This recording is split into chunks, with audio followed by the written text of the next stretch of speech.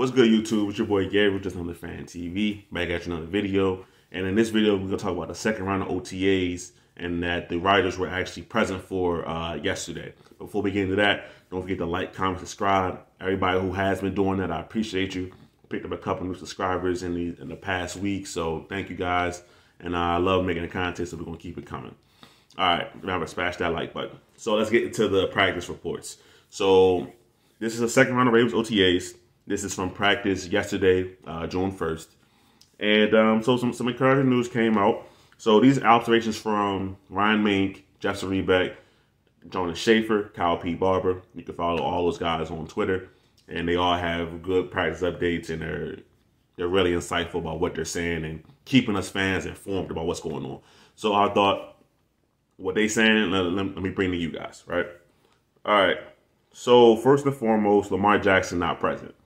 Um, to know shouldn't be to anybody surprised that he's not there. Uh, it's it's pretty obvious that he's not going to be here for the voluntary stuff. Okay, now we can make up that what, what we will. It is what it is.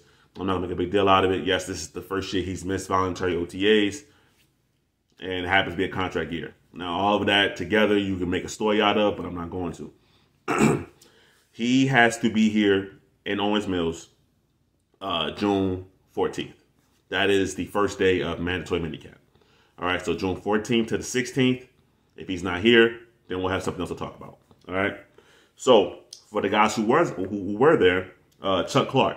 Chuck Clark is present and being a ultimate professional. He was there last week as well. But the reason I'm bringing him up in this video is Marcus Williams mentioned Chuck Clark um, in his post practice presser and saying that Chuck Clark is actually helping him become more comfortable with the defense and everything like that. So it's actually interesting to see that Chuck Clark, a guy whose name has been in trade rumors, might be released, whatever, is still actively helping the Ravens. He's just being Chuck Clark, the ultimate professional.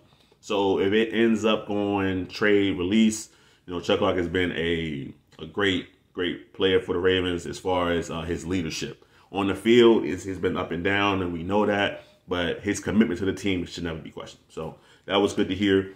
And um, so follow, also follow the NFL chick on Twitter. She's really plugged in with the Ravens. She said that Chuck Clark changed um, agents, changed representation uh, over the past week, which could lead to him being um, traded and or released.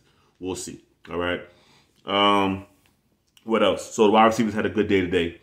Um, some explosive plays didn't really hear about any drops like we were hearing from rookie minicamp in the first round of OTA. So that's good. That's progress. Uh, Rashod Bateman had an explosive play today, 40 well, yesterday, uh, 45 yard touchdown from uh, Tyler Huntley. And they, they were saying that Tyler Huntley himself was looking a lot better this round of OTAs than he did um, last week. So they said he still had some iron passes here and there, but at, at the end of the day, he, he was a better overall quarterback this week, which is good because he's an important player for the team. He is the Ravens' backup, but um, he has to show that he can continue to get better because you don't want to see him stagnant, right? Um, Lamar Jackson is going to be the quarterback of this team for the future, so I'm not saying anything like that. But Tyler Huntley, if he wants to eventually become a starter in this league for uh, another team in the NFL, he has to put out these kind of practices because if we hear it, other teams hear it. You know what I mean? So um, if he's showing and proving that he's getting better and better, Maybe one day that'll lead to him being a starting quarterback for another team. All right. All right. So who else? Tyler Bat Tyler Badie. Uh, I'm not sure if it's Batty or Beatty, but I'm going to go go with, go with Beatty. Tyler Beatty is showing his worth as a pass catching running back. He was pretty much involved in all the snaps um, over OTAs and and specifically in the uh, pass catching drills. And he was doing a really good job apparently. Um, 7 on 7, 11 on 11, catching passes, making plays, which is interesting because the Ravens, to much of fans' chagrin, don't throw to the running backs a lot. Now, last year, a lot of hype around training camp was that J.K. Dobbins was going to be a guy who was going to have a Christian McCaffrey-like impact and catch a lot of passes. So early in early in the OTAs, we're seeing that if Tyler Badie can do this, then when, when J.K. Dobbins gets healthy and ready, he can do it as well. Speaking of J.K. Dobbins, he was there. He was in the building along with Marcus Peters. It actually ended up coming out to the sidelines. You're just watching practice, uh, t-shirt, shorts, you know, just watching the guys. and um, it seemed to be good. They were smiling, so it was good to see them guys back out there, um, even if it is just to watch practice. So they're around the team. All right, defensive side of the ball, uh, real quick. Daelin Hayes apparently was all over the field. Uh, he was breaking up passes at the line of scrimmage. He was, um, if, if you were allowed to, you know, actually get a sack, he had multiple plays where it probably would have resulted in a sack. But like I said, it's OTAs, it's no contact. But um, if he was allowed to do that, he would have had multiple plays where he actually ended up getting a sack. So this guy, Daelin Hayes, is actually a guy that I was really glad to hear this news because he's my pick for the Ravens breakout player on the defensive side of the ball. Because to break out, you need talent and you need opportunity. So he has the talent. Um, obviously, I, I, think he was a third round pick last year. Didn't play most of the season on IR, but you could always see that he was working and getting better, and that the talent was there. Um, I'm talking about preseason and then hearing what we saw at you know training camp things like that. Uh, second of all, opportunity. Now the Ravens have not officially signed Justin Houston yet. He's on that free agent tender, so I mean he'll I, I assume he'll be a Raven eventually, but we'll see. So when he gets here, obviously that's one spot taken up, but he's not an every down player at this point in his career. So you got Odafe Oweh on one side and you got a blank slate on the other side because Tyus Bowser is hurt uh, still. Uh, David Ojabo is hurt. So Daelin Hayes is going to have a major opportunity to step into a role and impact this team, say the least. In a significant role, we're talking about at least first four to five weeks of the season, I would assume, um, if not longer. So um, I did a breakout video about, you know, guys like Daelin Hayes and things like that. So if he can get somewhere in the neighborhood of, I think I said four to seven sacks, it'd be a really good season for him. Um, we'll see how much he can do in this in this role and see how much his role is expanded. But it's good to hear that he's making plays. All right, who else? Um, Jalyn Armour Davis, he caught a pick today in practice. Uh, so he's he's continuously making plays. And um, this is the first time I'm hearing of an interception from him. But you've been hearing about sticky coverage from Jalyn Armour Davis um, in practice. So Ravens might have another good cover corner. Can't have too many corners. That's especially for the Ravens. That's their motto. You can see over the last I don't know, five years, the Ravens have really invested in the quarterback position. You know, even longer than that, really. Uh, mentioned Tyler Huntley already. Wide receivers, no no drops today. Oh, Nick Boyle is back. So Nick Boyle is back, and according to Greg Roman and according to Mark Andrews, who said that last week, Nick Boyle is back and looking better than ever. Now, usually when we get like these, I'm in the best shape of my life reports. I've never felt better in my career. Take it with a grain of salt. All right, these guys, they always going to say something like that because you know, they have to show and prove that they're they're in good shape, they're in good condition to play. So until fans see it, um, let's just hold off on the Nick Boyle's in the best shape of his life stuff. All right, but hopefully he is better because he is going to be a part of this team. I, I, you know, I think there was some concerns about whether or not he would get cut. Maybe not concerns, but maybe like you know, uh, the Ravens drafted two tight ends. So how many tight ends are the Ravens realistically going to carry? Uh, Nick Boyle will be uh, a fourth tight end. Andrews, Kolar, likely Nick Boyle. That's four tight ends. I mean, a lot of teams only carry three, but the Ravens aren't like built like a lot of teams. So, um, but Nick Boyle, if he's going to be here, he needs to do more than just block. Because I get he's in the you know best shape of his life. He looks better than ever before. That's all great. But having a tight end who only blocks when you already have three tight ends on the roster is just not, um, to me, an effective use of a roster spot. So if he gets more involved in the pass game, then maybe, you know, it, it, it'll work out better. Okay. Um, Shemar Bridges and Slade Bolden. Two guys who have been constantly mentioned um, as undrafted free agents who are still making plays.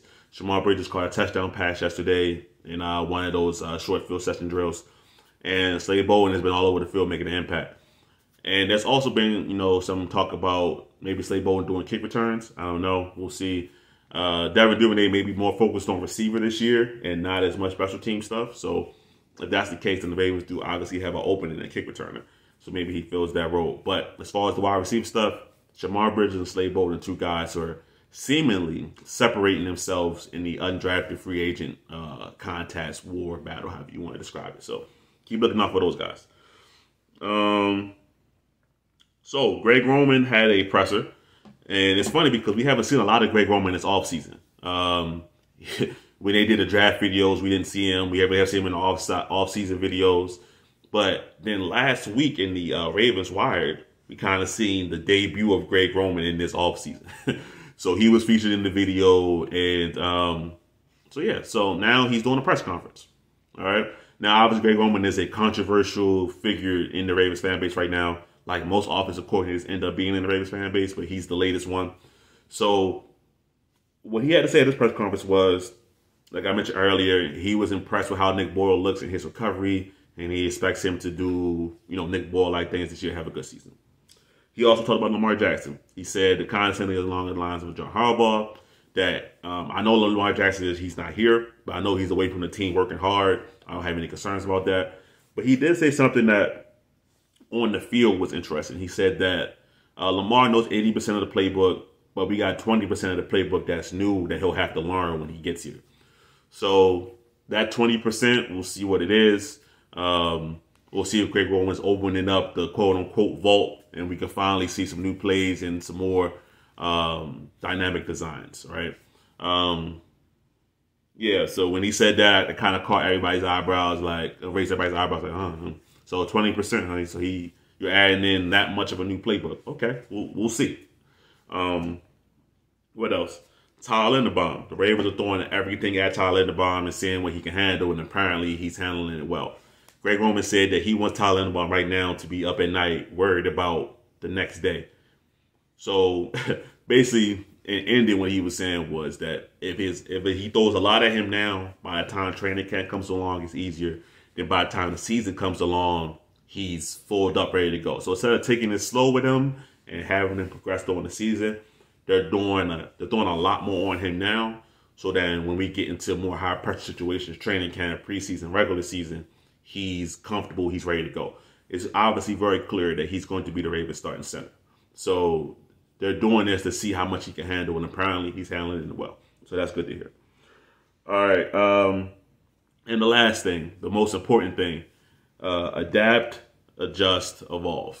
That's what Greg Roman said. That's what the Ravens must do. Now, with Greg Roman, there has been many, many times the Ravens fans say he does not adjust in games, he does not adapt, he does not evolve. He hit all three key words in his press conference when he said that. So now, when the Ravens are going into going into a game and they see something that's not working, Miami game, perfect example. Miami was the first team to really zero blitz the Ravens consistently like that. They're not the first team to blitz Lamar Jackson. If you go back to 2019 and even uh, the years before that, Lamar Jackson was one of the best quarterbacks against the blitz. Him picking up the blitz wasn't the issue. Okay, now it was, a, it was a myriad of issues that led to that Miami game: offensive line, uh, play calling, a myriad of issues that led to that uh, terrible game. So if he's on this adjust, adapt, evolve, then games like that it's okay to have that happen one quarter, maybe even two quarters. But second half, half after that halftime, we need to see something different. We need to see an adjustment. We need to see progress. So if Greg Roman truly wants to be the Ravens offensive coordinator or hell, be a head coach somewhere else, he needs to show that he can improve in those areas and really make a change when it doesn't look like it's going the Ravens' way. Because sometimes, you know, we get down these games and it doesn't look like it's going our way, we get sink. But last year was real progress. Ravens had a lot of comebacks, you know. So you can say that's a good thing, it's a bad thing. Bad because they started off so slow. A lot of games the Ravens start off really slow. It's a good thing because they never gave up. Now we used to say, you used to say about us, oh, we get the Ravens down two possessions. They didn't Lamar Jackson era, that is. We get the Ravens down two possessions, that's game over because they can't throw the ball effectively enough to come back. And Lamar disproved that theory like he disproves many theories. He disproved that last season. So now, if the Ravens can combine adjusting earlier in the game, so we don't have to have these deficits with um, effective play calling, we could be in for something good. So Greg Roman, a lot of Ravens fans are not happy that you saw the OC, but in my opinion, I'm not going to begin into that because he's still here. So whether I want him to be here or not, he's still here. And I want him to do the best job possible because I want to see the Ravens win the Super Bowl. So, uh, Greg Roman, hopefully you take that adjust, adapt, uh, evolve model to heart, and we really see some progress this year. All right, well, anyway, that's the observations from the second round of OTAs from the writers. Uh, it's your boy Gabriel. There's another fan TV. I'm out.